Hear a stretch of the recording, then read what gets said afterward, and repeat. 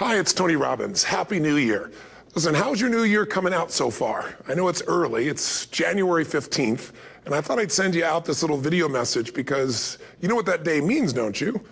January 15th is the cutoff. Statistics show that 95% of the people that actually made a New Year's resolution have already broken it by today. And that's if you even made a resolution. Now, if you're the exception to that, I'm thrilled for you and I support you and I say keep rocking it. But if you've missed, maybe I could drop you a quick little message or two here that can help you not only recover, but get way beyond just making some New Year's resolution and make some real lasting change in your life. I mean, think about it. Most people don't even make a resolution anymore. Why?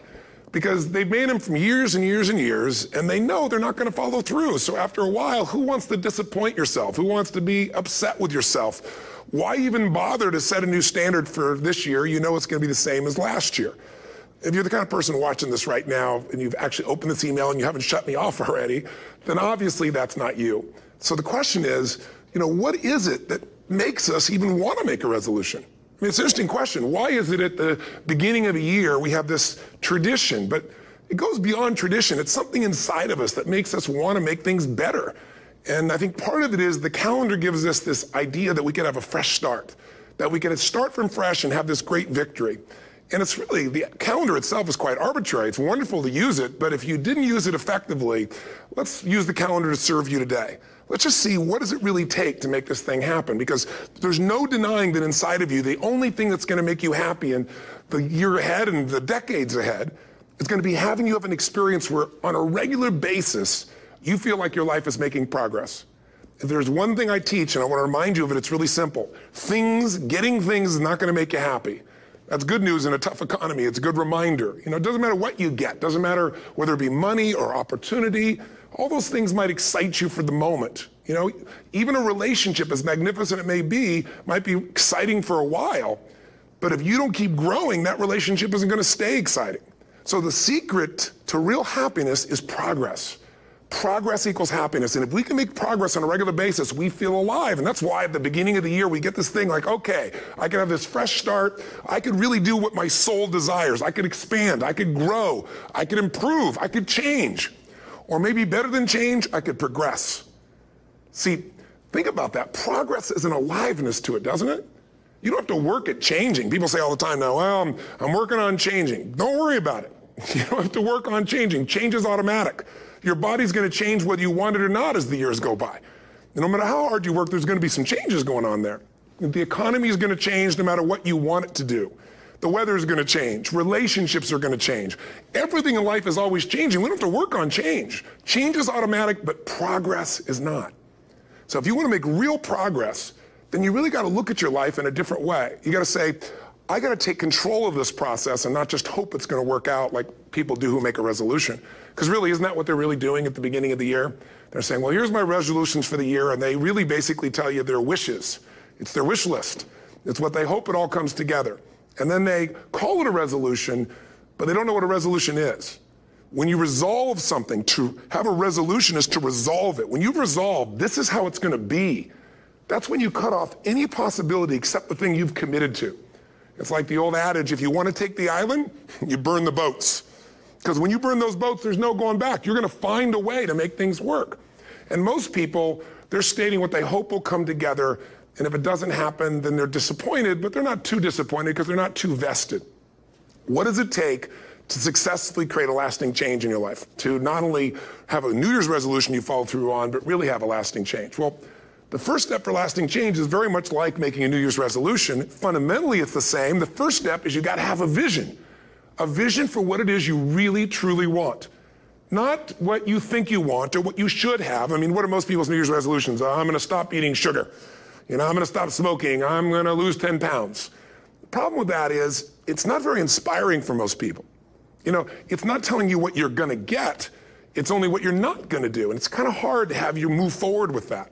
A vision is about what you're here to create. A vision that really works is one that excites you. If you say, well, my, you know, my resolution, my goal, my outcome for this month, this week, this year is to lose X number of pounds, that's okay, but it's not very compelling.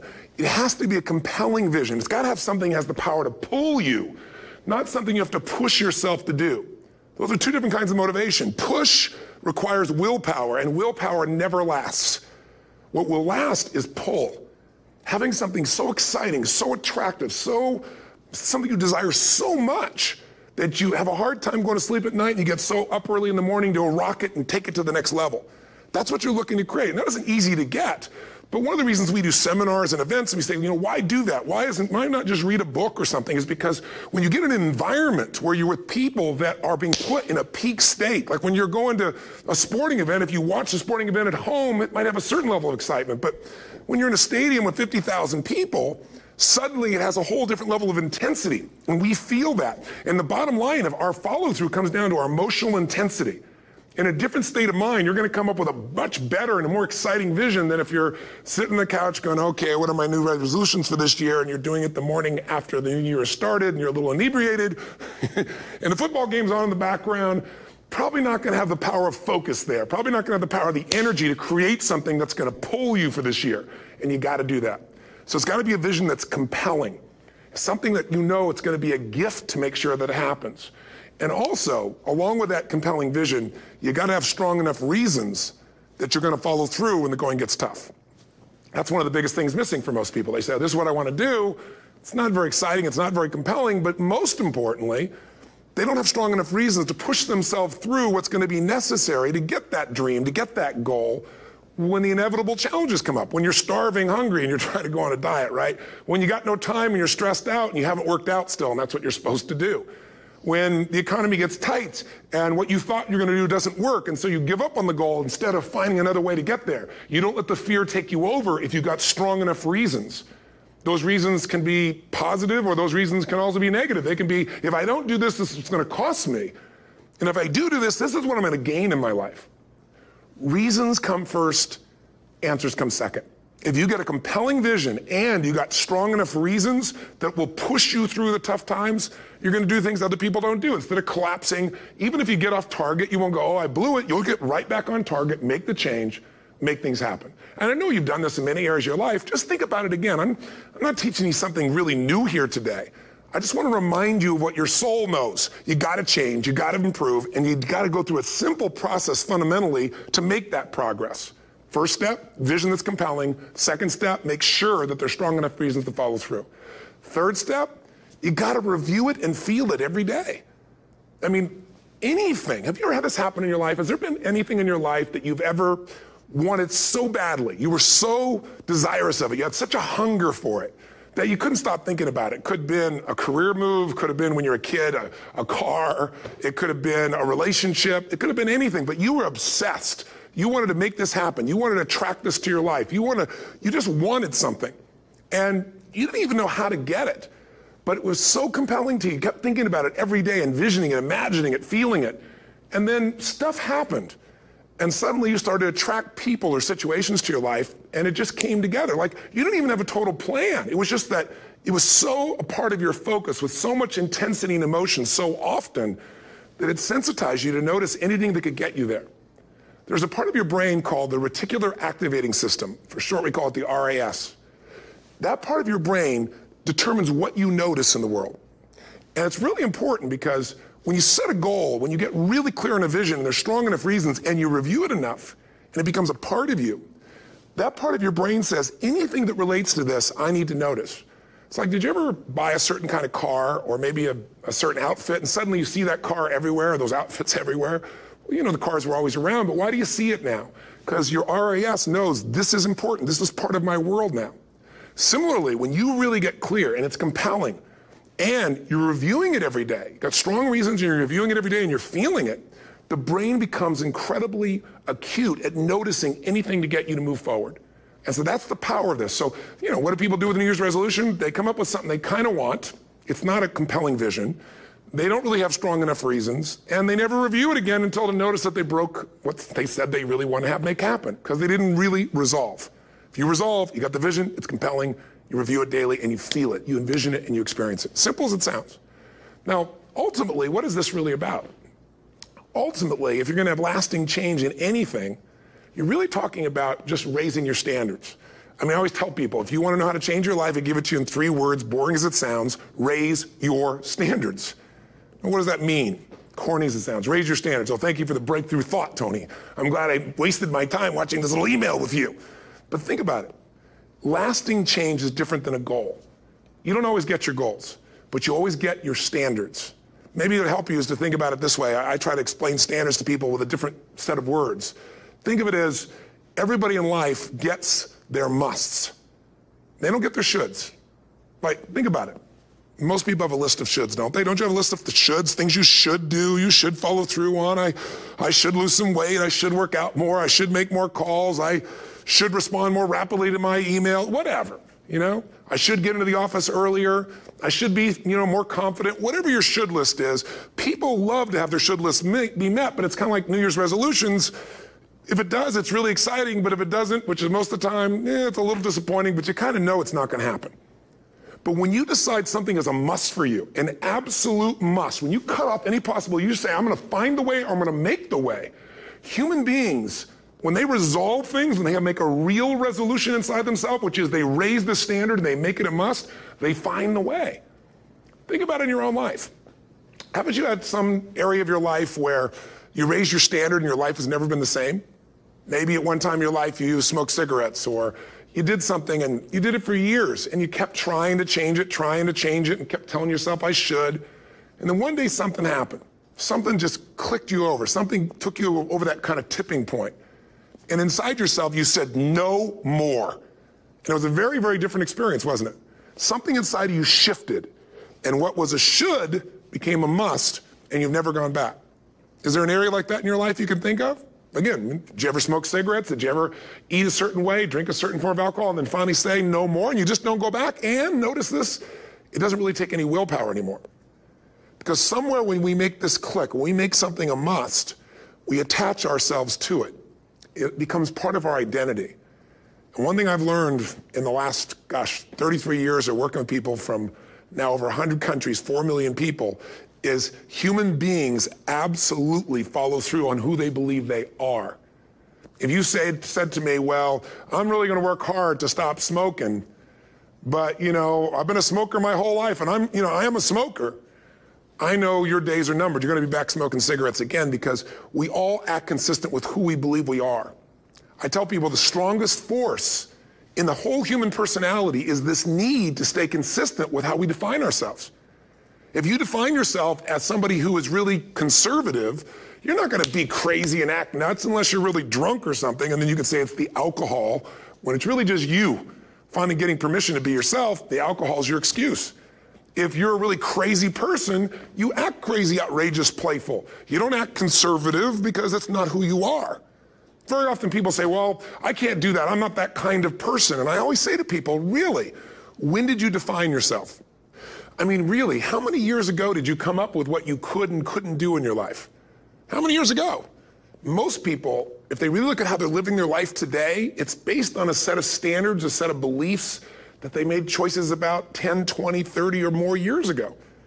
I mean, very often we made decisions in our youth or very young about what to believe, about what we were capable of, about who we are as a person, and that becomes the glass ceiling, if you will, that controls us there's a, a corny metaphor, but it's true. I remember one time I was with my family at the circus and there was a person there and they had this big giant elephant. And you look at this elephant and they take this little rope put it around the elephant's neck and they drive this stake into the ground. And i mean you look at this and you know that elephant could rip down the entire tent with almost no effort. And yet the elephant doesn't struggle doesn't try. Why? Because the elephant's conditioned. And they take that elephant condition the elephant when it's a baby elephant. That's how they train him when it's a little baby elephant and it doesn't have the power yet, they put a big rope around it and they drive this huge stake in the ground and the elephant fights and fights and fights. And one day, finally, that elephant decides, I'm not capable of pulling this out. And once that becomes the definition of an identity of anyone, an elephant in this case, they don't even try anymore. It's just who I am, that's how it is, that's just the way it is in my life. I'd like to ask you to take a look at any place you've got a limitation and ask yourself, when did I decide to accept that limitation? And you may not even see it as a limitation. You might see it as just that's who I am. But so often in our lives, we've adapted to be a certain way so that we don't fail or so that people will like us or respect us, but it's not necessarily who we are. Joy comes when you're spontaneous. It's really hard to be truly happy when you're not being yourself. And most of us have no clue who we are. And so a big part of my work, if you've ever been to an event, you know, is to get people to do things spontaneously without thinking, because that's when the real you shows up. That's when the energy comes alive. And when you do that, when you start to connect to your true nature, suddenly there's energy available for you to set a higher standard for what you want in your life. That's what this is really all about. And when I talk about standards, when I talk about, you know, shoulds versus musts, think about your own life. I know there have been areas in your life where some point in time you just shifted and you raised the standard and your life changed. Because whatever people have their identity attached to, they live. We live who we believe we are. That's just how it works. It's just kind of like, I'll give you an example. Look at your physical body. Your physical body today is an absolute reflection of only one thing not your goals, not your desires, but your standards the identity you have for yourself. If your standard is you're an athlete, then there's a certain amount of strength, a muscle tone, and energy that's available in your body on a regular basis because that's who you are. And so you do whatever's necessary to maintain that identity.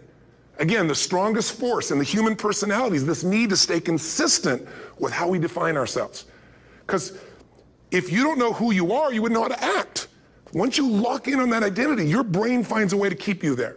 If you say, uh, you know, man, i am overweight, I've always been overweight, I'm big boned, and that's the story you've got, then you're going to always find a way to get back there. That's your settling point. That's your identity. That's where things lock in. If you see somebody who's in really great shape, you ask them, do you work out? You know the answer. Yes. How often? And they'll tell you three times, four times, five times a week, whatever. In a seminar, I'll ask people, who here works out at least five days a week? And I'm stand up and you look around that room and you know that they work out five times a week because you can see their body. You don't just get a result without some kind of action, without some form of ritual. Ritual meaning actions you do consistently.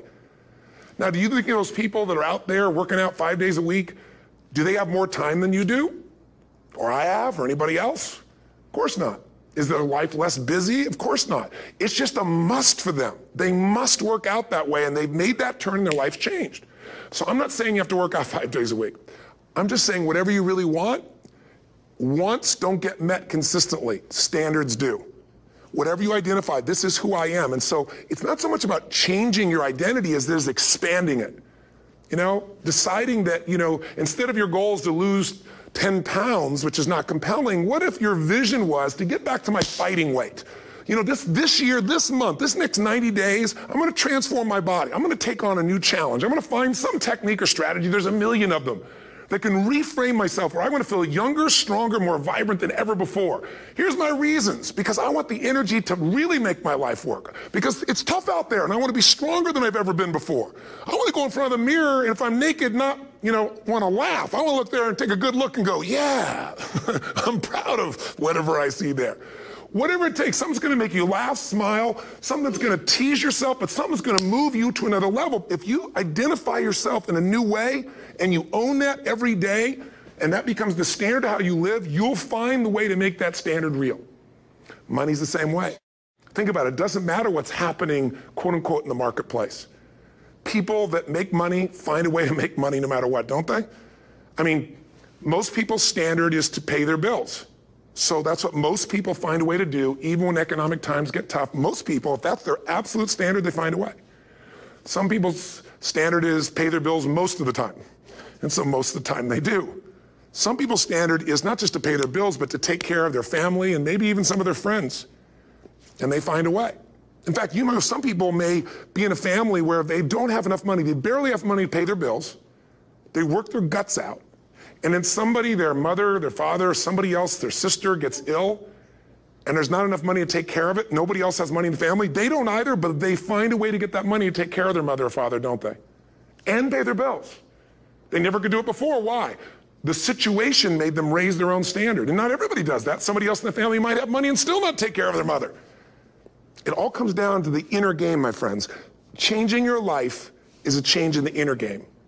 The outside world you can't control, but you have absolute control over this one if you learn the dynamics of what shapes you. And identity is one of those simple, clear, fundamental basics that if you start, start to shift it, everything else will shift in your life as well. Some people, by the way, have to have more than enough money to do what they want, when they want, where they want, with whomever they want, contribute the way they want. And if that's their must, they find a way. I know that sounds overly simplistic, but it's true. You know, somebody once said you could take all the money in the world out of the hands of everybody, out of all the wealthy people in the world who are really successful, give it to other people. It wouldn't take too long, those people would have it back in their hands. It's not because they're manipulative, it's because they have a standard. Some are manipulative, don't get me wrong, but they've got a standard of what they're going to find a way to make happen. I'm just simply saying to you take those three magic words and live them. Raise your standard. And if you really want to do it, then I'll tell you the most important secret. Have you ever done this? Have you ever told yourself you're raising your standard? Okay, I'm gonna go make this happen. I'm gonna go make this much money. I'm gonna transform my kids. I'm gonna create the ultimate relationship in my life. I'm gonna transform my body, whatever it is.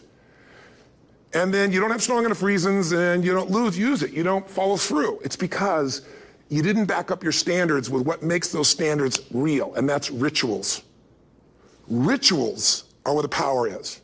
Whenever we do our Robbins results coaching, and we say Robbins equals results, the way we get results with people it's the same way if you listen to uh, my Ultimate Edge program or back in the old days, Personal Power, or if you went to one of my seminars, you know what I do is I take these huge challenges you got and we break them down into little bite-sized steps.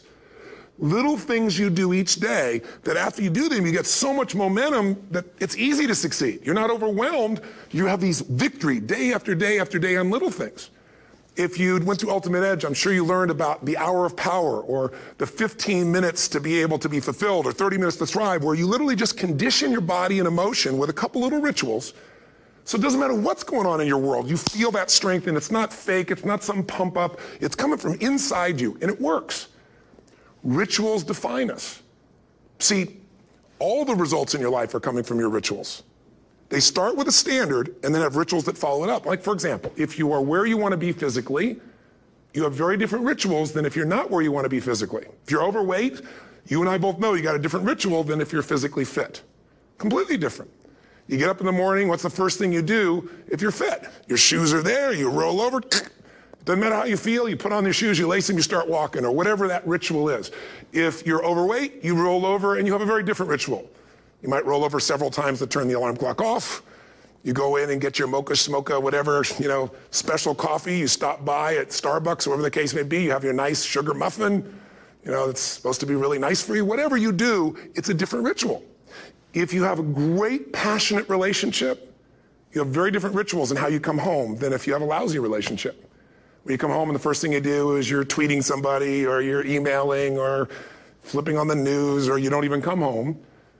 And what are the rituals? Whenever I study people that are successful, what I look for is what's the standard they hold themselves to? And then what are all those little rituals that up? Because think about it. Success and failure are not giant events. They don't just show up. You don't just suddenly become successful or suddenly have this cataclysmic event that makes you fail. It may look that way, but failure comes from all the little things. It's failure to make the call. It's failure to check the books. It's failure to say, I'm sorry.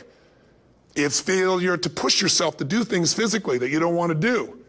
And all those little failures day after day come together until one day some cataclysmic event happens and you blame that. That event happened because you missed all the little stuff. Do you agree with me? And success, by the way, is not some overnight event. It's all these little things. Success is having a vision. Success is making it compelling. Success is really seeing it and feeling it every day with strong enough reasons. Success is feeling the sense that I'm here to grow and I'm here to give something to the world more than just myself. Success is caring about other people. Success is calling and saying, I love you in the middle of the day for no damn reason. Or sending a note. That'll change your relationship. Have a ritual of something funny, playful, or a surprise you do. How many relationships are dead today because they have no surprise rituals anymore? You need to have some rituals, some cool things you do that nobody else does that gives you a better life than anybody else has. All the little stuff. That's where success comes from. In business, it comes from delivering more than anybody could imagine. All those little things add up. People go, wow, that's who I want to do business with. It's true in any area of your life. So if you look at somebody who's really successful and you think, wow, I mean, they're, they're so amazing, they're such a genius, you got to dig underneath and you got to remember something. People are rewarded in public for what they've practiced for years in private myself and my business people say, how do you get up and speak? And you have no notes and you go for three days and nights and the room is like, everybody's wired and it's incredible. It's like a rock concert. How do you do that? How do you have that confidence? Well, you know, it's not confidence, it's experience now. But I did so much behind the scenes and I still do to make things right. I mean, How many people would know that since the time I was 17 years old, before I walk out on stage, still do to this day, wouldn't need to do it, but I still do it, I never walk out there without being in an absolute peak state of mind. You know, there are days my back is hurting, my throat was hurting, or I may have had a challenge, or my father passed away, and I've still got to deliver for these people because my standard is give my all every time. Every event has to be better. Talk to anybody who's been to our events for five, ten years, some of our trainers, and I'll say, I don't know how he does it. He always finds a way to make it better. That's not an ego thing. That's a standard in me. I have to find the way. And my ritual, though, is I prepare, I think, I gather new information, I figure out how to put something across better. What do people need? I spend time with our customers. I see what's going on. And before I get on stage each time, I have this little ritual to put myself in a state of mind. And I did it starting like 17 years old. I started doing it. I say, I now command my subconscious mind. And I say this out loud several times this little phrase, set of phrases, as an incantation to kind of condition my mind and body. And I'd say, I now command my subconscious mind to direct me in helping as many people as possible today by giving me the strength and the emotion and the humor and the brevity, whatever it takes to show this person and help this person change their life now.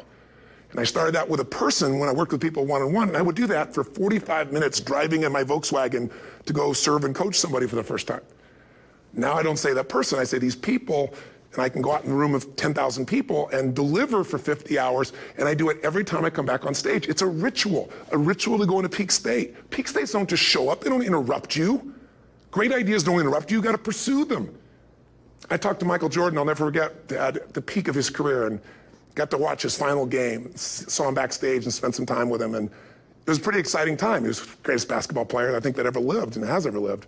And I asked him, I said, you know, what sets you apart, Michael? You know, what is it? And is it God given talent, ability, skill? What is it? And he said, Tony, you know, he said, I can shoot you straight. And you know, it's not, you know, me trying to act humble. He goes, I have a lot of talent, a lot of God given talent, a lot of skill. I've worked really hard. But he said, really, it's my standards. He said, every day I demand more from myself than anybody else could humanly expect. I'm not competing with somebody else. I'm competing with what I'm capable of. Hmm, magic formula. Because most of us lower our standards. Why? Because who you spend time with, my friends, is who you become. One of the biggest reasons I started going to seminars when I was like 17 is I had nobody around me as a great role model. I could read about somebody, but being around people, being in that environment was very different. Finding a way to go to work with someone who lived that standard of life was very different. You get around people with low standards and you compete with it. You don't need to compete with it. It's like, okay. I mean, remember Jerry Springer? I don't know if he's still in the air, but you know, I remember used to get people on the show, and I thought, where would he find these people? and why would people watch? I'll tell you why they watch. They watch these people and go, my life's still pretty darn good compared to that person. Look at them. You don't have to change your life. All you have to do is find somebody with a lower standard, and you'll feel good about yourself. But if you feel that good feeling, it's an illusion. The only thing that's going to make you happy, my friend, in this year or any other, is to step up. It's to raise the standard. It's to discover what you're capable of and feel that incredible power of pushing through whatever's holding you back and get to the other side of more of your true self. That's what this game's all about. And look at the best in the world in anything. Tiger Woods, what's, what's his vision? To win golf tournaments? No, to be the best that ever lived. That's his goal. That's his vision. But here's what's interesting. He backs it up with rituals. If you just have a vision and you don't have the rituals, stop lying to yourself. His rituals are he started doing things nobody did before. He went and started lifting weights. Golfers lifting weights? No way. He went out and he changed his swing when he was the best in the world because he realized in order to be the best that ever lived, he's going to have to change his swing. If you don't know anything about golf, you don't change your swing when you're the best. And he went and retrained himself because he has different rituals than other golfers. Now many people are modeling his rituals to get better. It's amazing.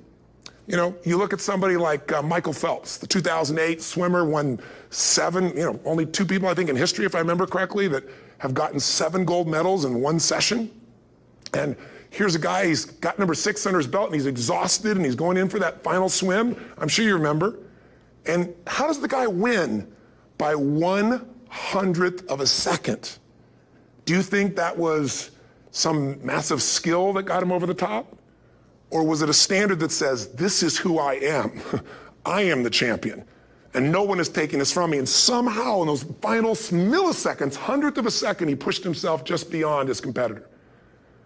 But you know about Michael Phelps? What allowed him to be able to push beyond that moment is his rituals. Go study the guy. Most people who swim have these unbelievable workouts. He does two and three of those workout sessions a day. All the other swimmers in the beginning thought he was insane. Going to overtrain. You can't do that. It's not physically possible. But he had a standard and the rituals to back it up. So here's my final message to you because I've gotten carried away. I thought I was going to send you like a five minute message, but as you can see, there's no script here. It's just me going a little crazy with you. But I want to really see you get what you want this year. Don't let this year be like last. And if last year was great, still don't let it be that way. Raise the standard. If your life is perfect and extraordinary, you darn well know you're not going to be happy unless you keep making it better. That's what makes us feel alive. It's not what we get that make us happy. It's who we become and what we're able to give because we become more. That sense of contribution is what creates the deepest meaning.